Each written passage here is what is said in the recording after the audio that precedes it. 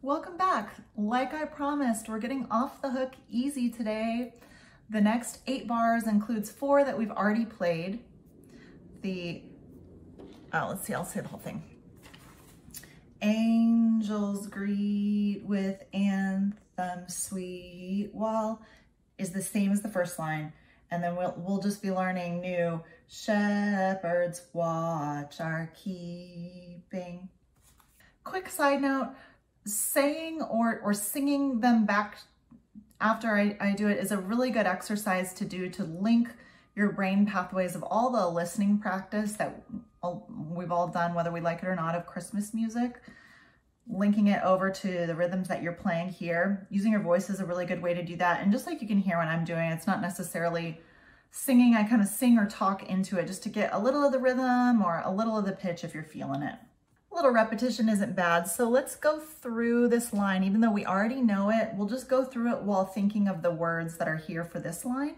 So whom angels is 1D, 3D, open A. And greet with is one, two, one, two, one. It's a low two that we're using here on the A.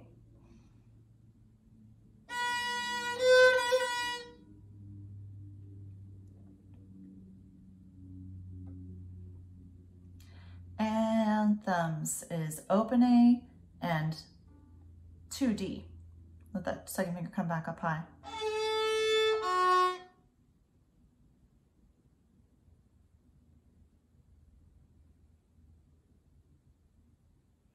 Quick reminder, since we're reviewing, a quick reminder of something unrelated, just the concept of high and low, because I know that it can sometimes get confusing. I'm saying low, low always means closer to the pegs for a lower pitch as we go um, down. The pitch goes lower, so that's why that's called low. And then as the pitch goes higher, closer to our face,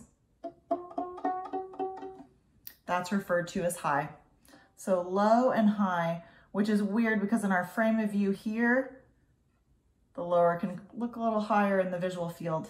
So clearing that up in case anybody's getting that little, that little mental catch, which happens sometimes with violin. So we just said anthems, starting on an up bow on open A, going to 2D down bow. Anthems.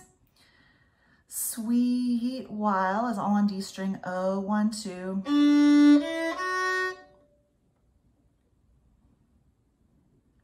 And shepherds is also all on the D string, three, two, one going into the new stuff here. And what I did with this next bar is a little bit controversial. Um, let me know what you think. To me, I like to keep it even here.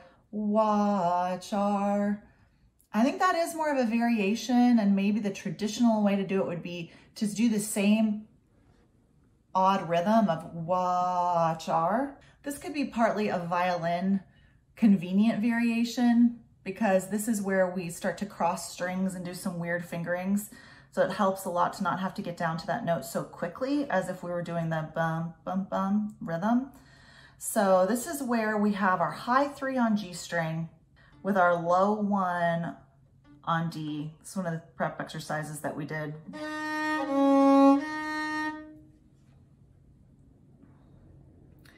So check out to do this. I have a little bit of some open space here. If my hand is too wrapped in, if my knuckles are too wrapped in, that's gonna make the stretch have to go between my fingers this way, which doesn't sweat, doesn't stretch as well. I'm not way, way open. It doesn't take a ton of openness, but just enough so that your fingers can stretch like this.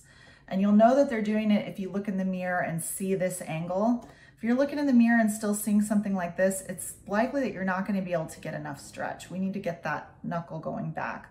Whereas mine is like really flexible, so it might be a little exaggerated.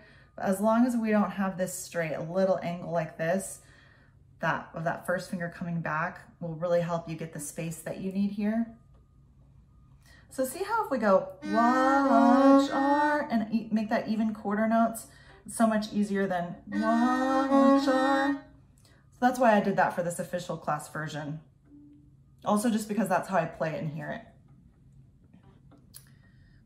So let's try Shepherd's Watch R. And just go for that full chunk, but feel free to pause wherever you need to with Landlord Time Stand Still to think through it for yourself as you look for, to the sheet as a guide.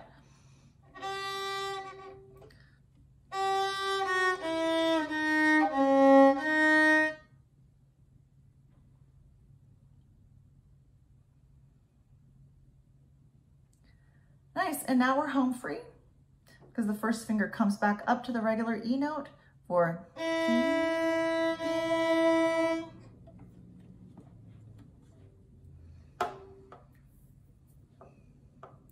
I feel like I lied. I thought we were getting off easy, but that little section there with watch R is probably the trickiest spot in the piece. So that does give us something to practice and a nice pyramid down exercise to potentially review from the prep if you have the time today. So go get them and tomorrow we'll be going into the glorious next section, which I kind of feel is the B part. These two uh, first 16 bars is what I would consider the A part. And we get to this, this is, and that nice high note with the 3A, I'm thinking of that as the B. So we'll launch into that tomorrow. I'll see you here.